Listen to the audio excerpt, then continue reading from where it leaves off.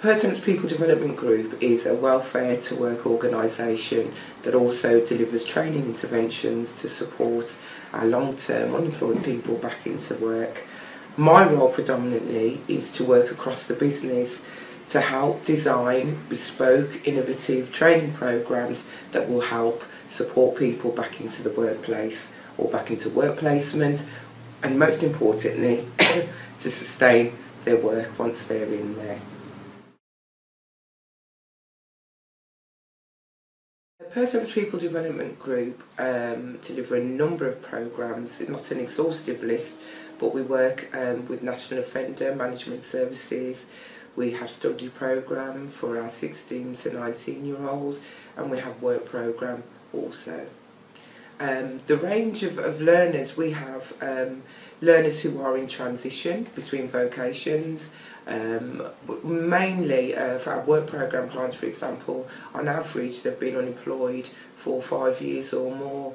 So it's really important that the training that we deliver um, and the knowledge that we're trying to, to increase with our, our customers in order for them to build their confidence, raise their self-esteem, to go forward and look for work and to sustain work is absolutely crucial.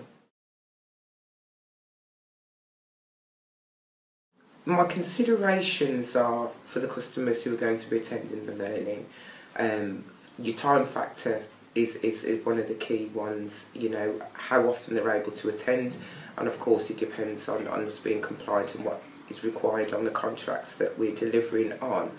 Um, the locations, it may be more appropriate that we do small bite-sized learning for those who may have additional care and responsibilities, you know, who can only attend certain hours um, during a particular day or they may have restrictions based on the fact that they're actually claiming job seekers allowance so can only do um, 16 hours learning per week.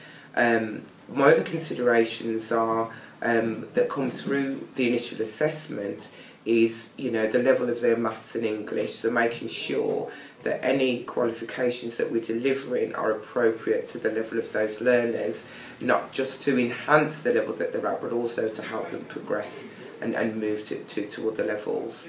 Um, further consideration then is taken around the content. Um, I found that using the personal development units, the 7546 employability and personal development qualification um, from City and Guilds has been fantastic because it's given a wide range of contexts that I've been able to write programs around um, helping people to establish and build their confidence and their self-esteem, um, helping improving people's lives, you know, through healthy eating, you know, understanding their contributions not only to society but to the workplace, you know, and to improving their lives. Um, also it broadens people's aspirations. There are a number of units within there that give people, you know, an idea to think if they've always done retail, it's how they can transfer those skills to potentially work in the care setting. And the 7546 qualification allowed us to do a very good mix and blend of learning that was appropriate to our individual learners. And we find that within the sessions people are shown a lot of experience they're shown a lot of, of knowledge and the feedback that we're getting you know speaks volumes because people are actually moving forward and going into work or they're going on to further learning and doing other things within the organisation that shows that their confidence is being built.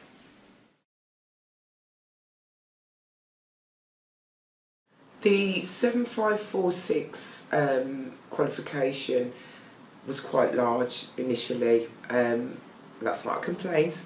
Um, it had a huge range of units, over 300 units were associated within that qualification. So you can imagine that when you're looking for particular units to select to design a programme, um, you kind of don't want to miss anything because they're all very good, but you don't have programs long enough to be able to utilise them all.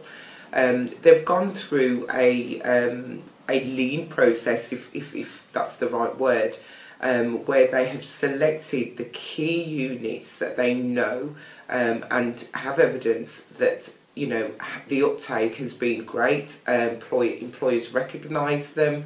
learners are actually taken on board and, and the pass rates, the success rates are saying that these units are the ones that will help people to, to move into to work. Um, so now there are less units, there are 100 plus units and I'm sure um, that is far more than plenty for me to be able to, to use the unit picker to help me design relevant um, training programs for our deliverers to use. Um, still, the range is from entry 2 to level 2, so it covers a wide range of abilities. Um, the unit titles I feel now are more relevant to the workplace and are more specific to particular areas of skills and knowledge development.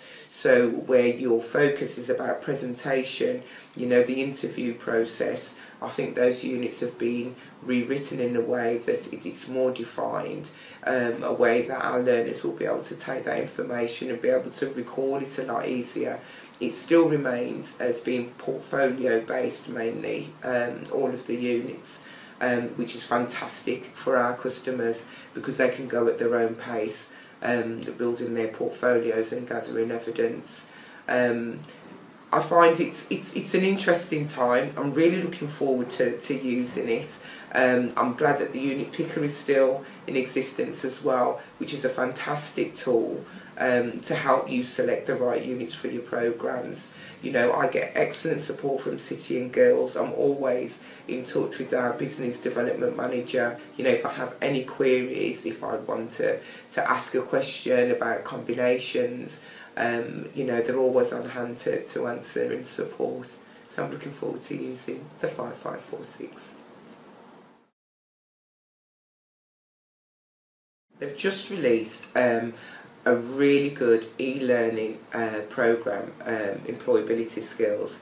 Um, I've had a look at it and navigated around it and I think it's been a long time in coming. It's absolutely fantastic. The graphics are good the, the interaction with the learner to the tasks that they're being asked to do on screen are really good and just sums up all of the delivery that you would do via using the standards within the 5546 the reinforcement of learning is, is absolutely brilliant and uh, we're piloting that at the moment and we're getting some really good feedback as to how that's going.